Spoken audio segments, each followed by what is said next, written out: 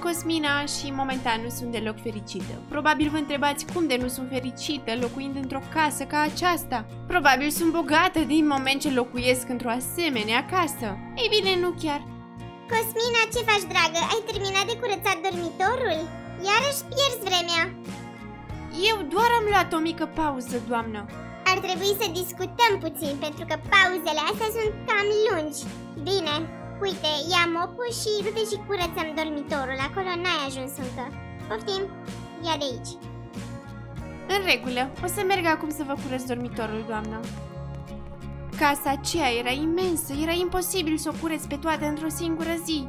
Până apucam să curăț zona de jos, etajul de sus era deja prăfoit și necesita din nou curățenie. Alo, da, Karina, vei veni la petrecerea mea cu 100 de invitați? În seara asta, la mine acasă. Stai liniștită, nu trebuie să aduci nimic. Voi avea eu totul asigurat pentru toți invitații, mâncare, băutură, distracție, muzică. Chiar acum face menajera curat și pregătește locul pentru cea mai tare distracție care va avea loc în seara asta. Bine, haide că o să mă duc în camera mea acum, am impresia că trage cu urechea menajera și nu vreau să aud ea toate detaliile. Fata pe care ați văzut-o înainte este Eliza, fica șefei mele. Șefa mea are o fică, deși avem aceeași vârstă, suntem total diferite. Adică uitați-vă în ce casă locuiește ea și mai târziu veți vedea în ce casă locuiesc eu. Eliza e atât de bogată și are atât de multe rochi încât ea nu stă în casă îmbrăcată în pijamale sau în haine confortabile. Ea poartă rochii de bagi de prințese chiar și în casă. În menajera cred că ar trebui să mai insiste odată cu praful pe masa asta. Vino și mai ștergi odată praful aici, te rog. Nu l-ai șters bine! Vin acum, o să-l șterg încă o dată. Bineînțeles că praful s-a pus din nou. Praful se pune foarte repede și la cât de mare e casa lor. Nu am timp să fiu și la parter și la cele două etaje în același timp. Probabil vă întrebați cum am ajuns să lucrez pentru această femeie. Aceasta este casa în care locuiesc împreună cu mătușa mea. Ea este Ana, mătușa mea. De când eram mică, noi două locuim aici. Probabil sunteți curioși de ce locuiesc cu mătușa și nu locuiesc cu părinții. Tot ce știu despre părinții mei este de la mătușa mea. Mătușa mi-a zis că într-o zi ploioasă, când eram încă bebe, eram foarte bolnavă, iar părinții s-au urcat în mașină și s-au grăbit să mă ducă la spital. Era vreme urâtă și ceață afară și părinții au fost implicați într-un accident de mașină. Singurul om care a supraviețuit acelui accident de mașină a fost bebelușul, adică eu. Atunci mătușa a fost nevoită să vină în țară ca să mă adopte și să aibă grijă de mine, să nu mă lase să ajung la centrul de adopție. Mătușa a făcut tot posibilul să mă crească cât mai bine și să aibă grijă de mine. Când eram în clasa 5 -a, am aflat că am nevoie să port ochelari. Mătușa m-a dus la medic, am aflat că am o problemă la ochi și că va trebui să port ochelari de acum înainte. Mătușa, eu nu vreau să port ochelari. Mi se pare că arăta mai bine înainte fără ei. E pur și simplu ceva în plus pe față. Mă deranjează. Draga mea, arăți foarte bine și cu ochelari și fără. Numai că trebuie să-i porți ca să vezi bine. Să vezi natura din jurul tău, să vezi să citești, să mă vezi pe mine. Mătușa a vorbit atât de frumos atunci încât m-a convins că ochelarii nu sunt ceva rău. De atunci am început să-mi accept ochelarii ca fiind o parte a vieții mele.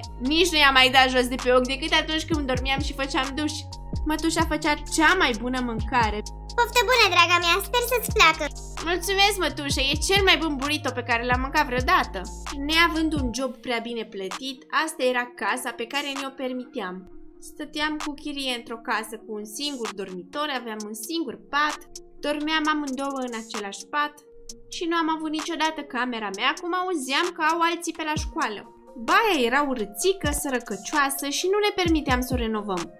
Într-o zi, în timp ce eram cu mătușa în curte, am văzut că ea nu se simte prea bine și dintr-o dată a leșinat. M-am panicat atunci și n-am știut ce să fac. Am dus-o în seara aceea pe mătușa la spital. Eram foarte îngrijorată, iar doctorița nu mi-a îndepărtat îngrijorarea. Mătușa ta are o boală destul de gravă. Nu e imposibil să se vindece, însă are nevoie de niște medicamente foarte scumpe. Prima doză a acelui medicament costă 1000 de Robux și trebuie să ia acel medicament lunar ca să-și revină pentru o perioadă de cel puțin un an. Cum? Mătușa mea trebuie să iau un an lunar medicamente? Adică în fiecare lună trebuie să dau cel puțin 1000 de Robux doar pe tratamentul mătușii? Mătușa ta în starea asta nu va mai putea munci. Îi trebuie concediu. Atunci viața noastră a fost dată peste cap. Mătușa era bolnavă, ea era singura care muncea și aducea un ban în casă pentru că eu eram încă la liceu. Peste o lună urmează să merg la facultate.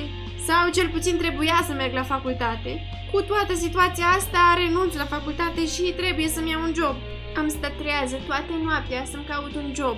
Ce puteam să fac? Nu știam să fac nimic. Eu am fost doar la școală. Abia am terminat clasa 12, abia am împlinit 18 ani. Nu aveam experiență. Cine mă angajează pe mine și pe un salariu mare? Ca să pot să acopăr și chiria și mâncarea și tratamentul mătușii mele. N-am dormit în noaptea aia. Numai un miracol mă poate salva. Apoi am văzut un anunț cum că o femeie caută menajeră pentru casa ei imensă. Oferea un salariu extrem de mare. Șansele să mă accepte erau foarte mici, însă trebuia să merg. Poate m-ar fi angajat. Mamă, eu m-am săturat să mâncăm același lucru la micul dejun. Astăzi vreau să mănânc avocado și ouă poșate, mamă. Și vreau să am și un desert clătite cu banane. Stai liniștită, dragă, se rezolvă. O să trimitem pe menajeră să cumpere niște avocado de la magazin și o să-ți facă bucătăria sau tot ce vrei tu. Du-te, te rog, și cumpără niște avocado de la magazin. Vei curăța sufrageria după ce te întorci. În regulă, doamnă, o să plec acum. În drumul meu spre magazin am trecut pe lângă o fată care plângea. Ce s-a întâmplat? Ești bine? Am pierdut un colier foarte important în lac. Era amintire de la părinții mei pe care nu-i mai am. Mi-a căzut în lac, a venit un val mai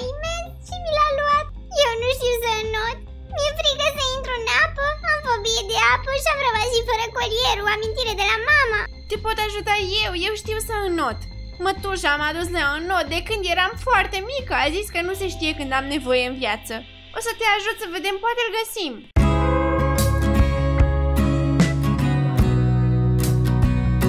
Am încercat să o ajut pe acea fată să-și găsească, coli- să-și găsească colierul pe care l-a pierdut în apă.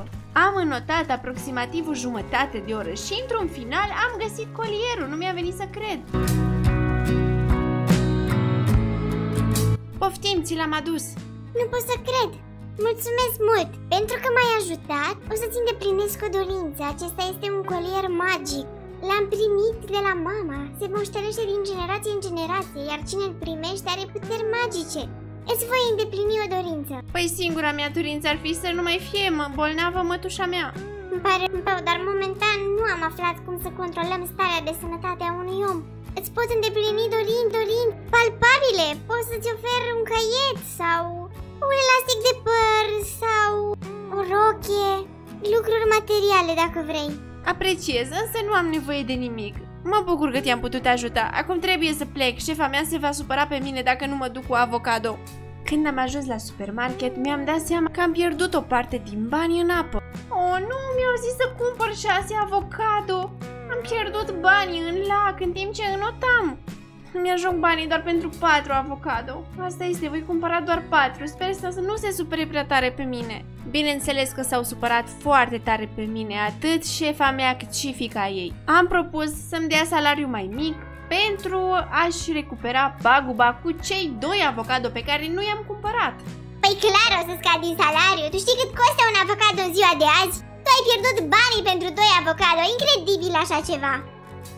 Supărarea le-a trecut repede pentru că Eliza sărea în sus de bucurie la scurt timp, nu știam ce-a pățit. Mamă, peste tot prin oraș sunt afișe și peste tot la TV se vorbește că se angajează o nouă actriță pentru filmul Barbie 2. Actrița trebuie să aibă între 18 și 25 de ani și mă încadrez la categoria de vârstă, mamă. Trebuie să aibă stil, vestimentație bună și și farmec. Cu siguranță mă vor alege, voi juca în filmul Barbie 2, trebuie să merg la audiții. Audițiile se vor ține chiar la primărie, îți vine să crezi? Serios, scumpo, nu-mi vine să cred. Vei fi actriță, vei fi celebră, o vei juca pe Barbie în filmul Barbie 2. Cu siguranță te vor angaja.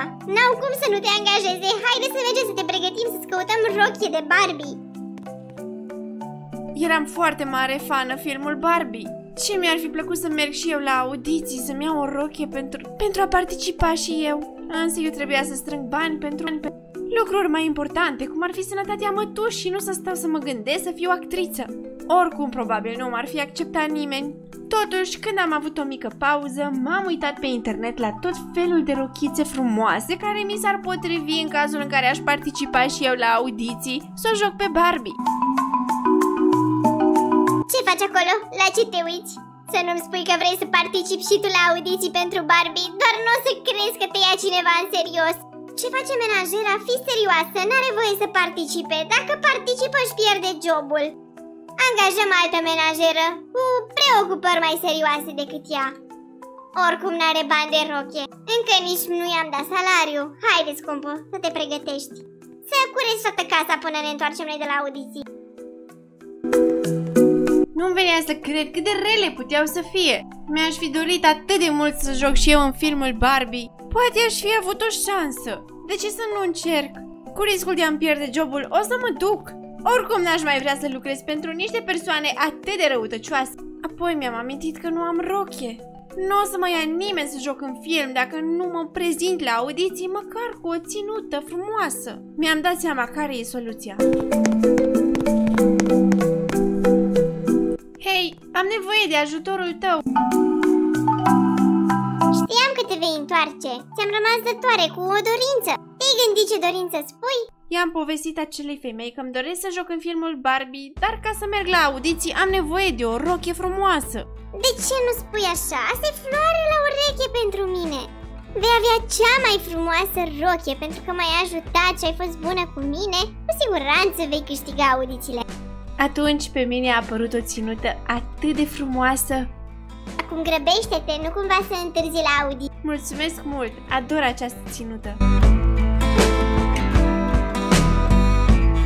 În sala de așteptare era bineînțeles și Eliza și m-a văzut. Nu a fost prea fericită. Ce cauți aici? Ești conștientă că mama te va da afară, nu-i așa? O să-i spun mamei să te concedieze, incredibil așa ceva, oricum nu o să iei tu acest rol. Mă așteptam să nu iau acest rol, dar eram mulțumită că măcar am încercat. O să-mi găsesc alt job ca menajeră, acum că am avut și experiența, lucrând la această femeie.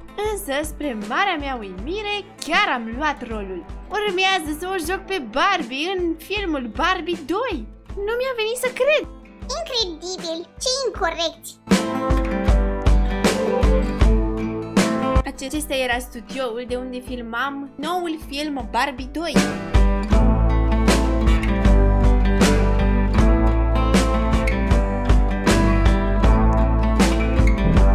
Imediat după lansare, filmul a ajuns în toate cinemaurile din țară, iar la scurt timp s-a răspândit la nivel internațional. Filmul nostru a devenit foarte cunoscut. Mătușa mea a fost externată din spital. Cosmina, ce cu tine? De ce ți-ai schimbat culoarea părului? Și de ce m-ai adus la casa asta? Trebuie să mergem la casa noastră, aia sărăcăcioasă Mătușă, trebuie să zic atât de multe lucruri. Atât de multe lucruri s-au întâmplat de când ai fost internată în spital. Acum aici locuim. Haide, am să-ți povestesc tot. Dragă, deci mie nu-mi vine să cred În două luni cât timp am stat eu internat în spital Tu ai lucrat și ca menajeră Ai devenit actriță, ai jucat-o pe Barbie Ai devenit milionară și ai cumpărat casa asta și mi-ai plătit și mie tratamentul În doar două luni? Exact asta s-a întâmplat, mătușă. Important este că acum ești sănătoasă și că putem trăi liniștite în această casă superbă, fără să mai ducem grija zilei de mâine.